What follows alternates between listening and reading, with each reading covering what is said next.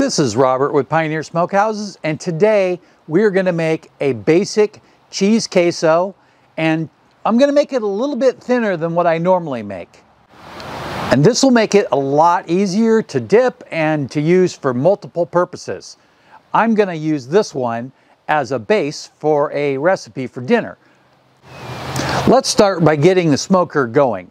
Now first thing, I popped a picture here of the uh, charcoal snake that I set up. Now I want to get somewhere in the 275 to 300 temperature range, so I'm doing what I would like to call a six stack.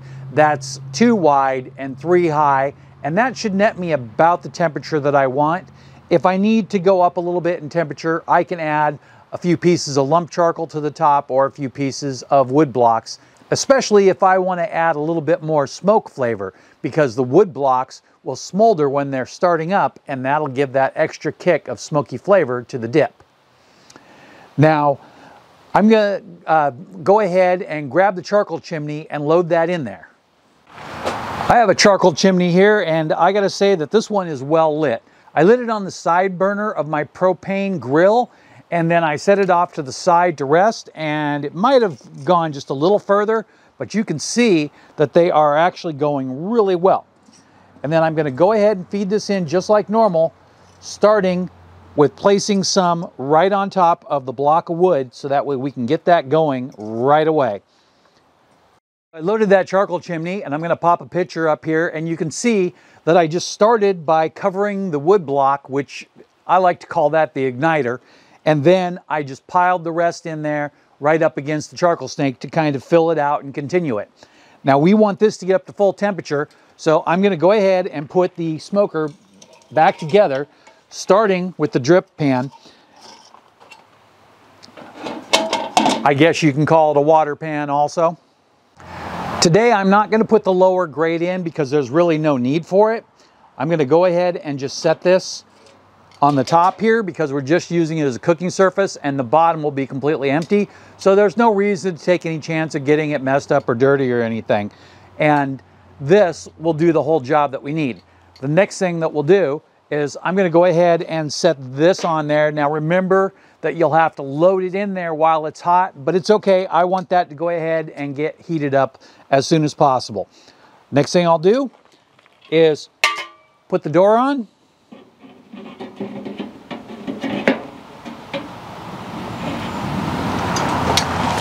Then I have the lid hanging back here, and I know I haven't mentioned it before, but there's this little clip right here that allows you to hang the lid on there, and I normally don't use it, but I did want to show you that today. We'll set this on there, and then we'll move on to the cheese. So if you take a look at the cutting board here, what we have is some one-third less fat cream cheese, which you can use regular if you want. There's hardly any difference. And then we have a block of mild cheddar and a block of Monterey Jack. If you want more of a nacho cheese fill, you could use more cheddar. I prefer this as a basic mix. Also, uh, pepper jack is a really good cheese to go in here if you want to increase the spice level. For seasonings, I'm going to use a little bit of chili powder, a little bit of smoked paprika, of course, and a little bit of granulated garlic not a lot. Because I'm trying to keep it mild, I'm using a can of original diced tomato and green chili rotel. Now this is their original and they do make a milder version, but this is gonna work out perfectly fine. And then for the liquid base, we're using two cups of milk. This one just happens to be a low fat, low carb blend, but that's just what I had in the fridge. So I'll go ahead and uh, get this stuff all open and we'll be right back. So I got all the cheese opened up and then what I did is I went ahead and cut each block into eight pieces. Now it's not absolutely necessary that you cut it all up, but if you do, you'll be able to kind of get a head start on the mixing. What we're gonna do is heat it up slowly and then we're gonna mix it every so often until it all comes together. And once it comes together, it'll just about be done because everything will have been melted. Next thing we're gonna do is we're gonna go ahead and load it into the pan. I'm gonna go ahead and load the block cheese first.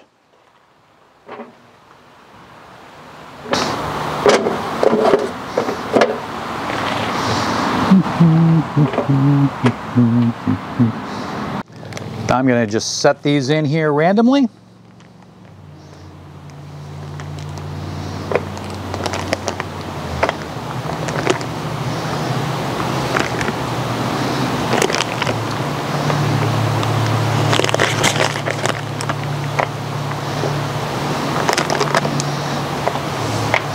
And they'll kind of melt down in there as they go.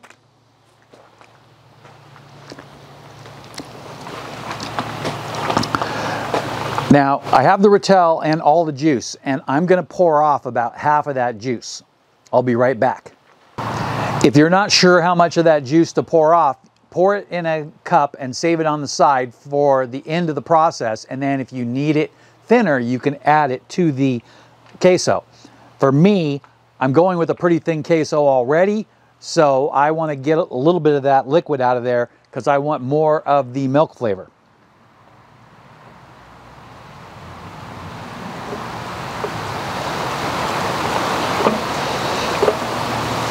Now I have some seasonings here and I'm going to start with some garlic and we're going for about one teaspoon.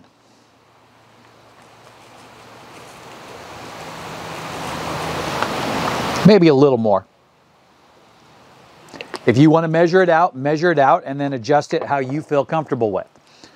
And for the smoked paprika, about a half of a teaspoon.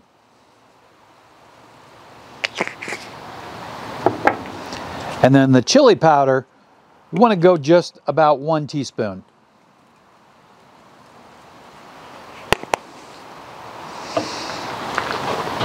finally, we're going to go ahead and add our milk. And kind of try to pour it in there nice and slow.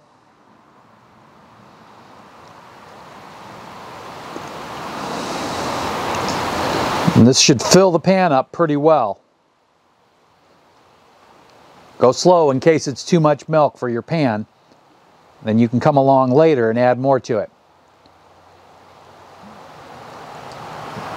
That's perfect. This is a uh, 8 by 8 brownie pan uh, that you can buy at any uh, major store or you can check out one of the links below uh, to pick it up on Amazon. Everything's all in there. So now what we're going to do is we're going to wait about an hour for everything to come up to temperature and it all to melt. For you, that'll be one second. We are back and it is raining cats and dogs out here. The sky just exploded, and as soon as there was a lightening up of the uh, rain, I ran out here as fast as I could. Let's go ahead and open it up. And first thing I want to note is the temperature is running about 250, which is a little lower than what we were going for. So as soon as I'm done giving this a little stir, I'm going to go ahead and add some uh, more charcoal to it, lump charcoal to get the temperature up, and then a couple of blocks of wood. Now, this cheese has melted in a little bit and the container is completely full. This might have been a point where you'd want to use a little bit larger container. I'm just going to carefully mix it.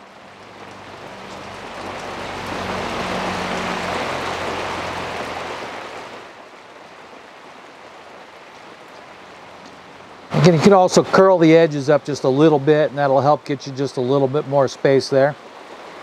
You can see that some of the cream cheese got a little smoke on it before it melted into the uh, pan. That's a good thing. That just adds more flavor to your mix. Now we don't have to get this completely mixed now. We just want to give it a little turn around and then we're going to let it go.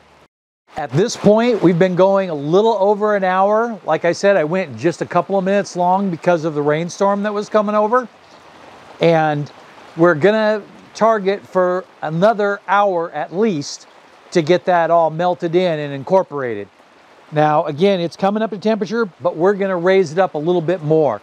So after I turn the camera off, I'm gonna go ahead and add a row of lump charcoal across the top of the charcoal snake just to bring it up in temperature. So it's been another hour for me and I have stirred it a couple of times and uh, it's coming together really well. It still needs a little bit more time. We're currently running at about 275 on the temperature. I uh, added a little bit of that lump charcoal to the top and it really kicked the temperature up. Let's go ahead and get a look inside. It's really starting to come together now. Still just a little ways off. Just have to complete the melting so that way we can get it to mix well. I have sampled it and the smoke is definitely taking in there perfectly. And we are going for a thinner queso here, so this is exactly the way we want it. You can see there's still a lot of little clumps in there, but as the heat transfers after the last mix, that'll all start to melt down and it'll come together perfectly. So let's go ahead and take another break here. And I think that'll be about a half an hour for me and one second for you. It's been about 40 minutes and I've stirred it once in between uh, to kind of get it to break up a little bit. Let's go ahead and take the cover off.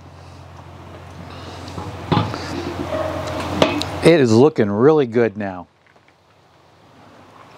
I was worried that we weren't getting hot enough to get it all melted together, but look at that. And the last time I stirred it, there was a little bit more of a crust on the top.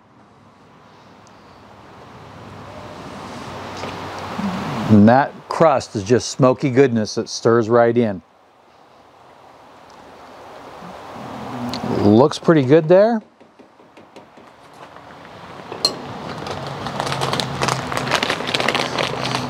I got some uh, tortilla chips here.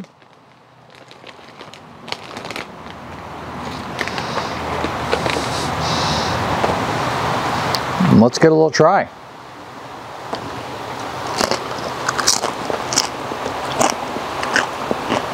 Mmm.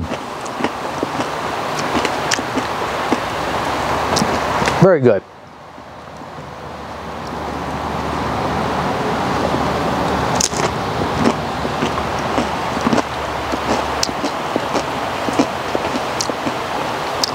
Friends don't let friends double dip. So anyway, this is uh, perfect for what I was going for. It's thinner than what I would normally make. And if you want your queso on this recipe to be a little thicker, add less milk. It's really simple to just cut the milk in half. Normally on my dips, that's about where I will go is about one cup of milk instead of two, but I wanted to make a thinner queso on purpose. And the best thing about this one is that it does have that smoke taste. This is gonna be really convenient to use when it's cold a thick queso is hard to use when it's cold because it just firms up too much. When this one cools, it'll still be thin enough to be like a chip dip. There's not a lot of spice in there. If you want some spice, you could hit it with something else. Um, like in my case, I would normally drain a can of diced jalapenos or green chilies and put it in there.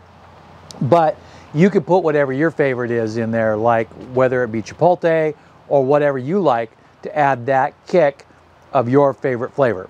I prefer jalapenos myself. Well, that's the end of this video. And again, I think we've really got this Masterbuilt charcoal bullet smoker under control and we're kind of understanding it. Still kind of uh, balancing because my practice was all in the hotter weather and now the weather is cold. Now I have to add a little bit more charcoal to get to the temperatures that I was getting a month ago. So Thanks for watching. And if you saw anything you like, there's affiliate links in the description below. I will get compensated for those, but they won't cost you anything extra. So thanks again. Have a great day.